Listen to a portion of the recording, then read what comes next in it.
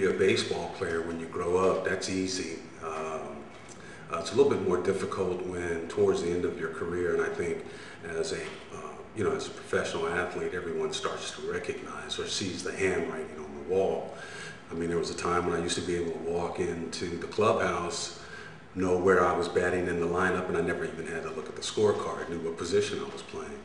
Uh, and, and for a while, that that you have that kind of success and things are going well, but towards the end of your career and the organization is looking like who they're going to replace you with, things start to change a little bit. So I think when you see the handwriting on the wall, it makes you want to kind of think about what you're going to be doing next.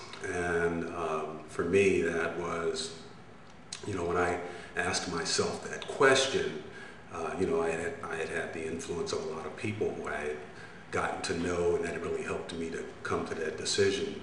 Someone like a former teammate of mine, uh, Joe Morgan, you know, Joe, for as long as I can remember, uh, has always been involved in business. Even while we were playing, he was flying off, having these meetings and stuff like that.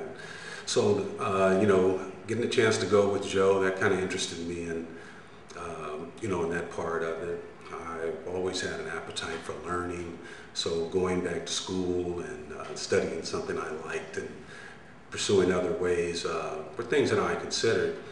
And then, you know, just the people you come across uh, in your lifetime that give you great advice. And I think some of the best, one of the best pieces of advice I ever had was uh, a friend of mine that told me that maybe I should think about retiring uh, and living in Philadelphia as opposed to trying to stretch my career out for a couple more years, maybe going from city to city. And I think that that really uh, was some great advice because as soon as I decided to make Philadelphia uh, my home, uh, then the people of the city reached out to me and uh, you know and accepted me. And so having that type of feedback from the community, uh, those types of resources to fall back on, people wanting me to do well, you know, has really turned out to be one of the uh, key decisions I made in my life.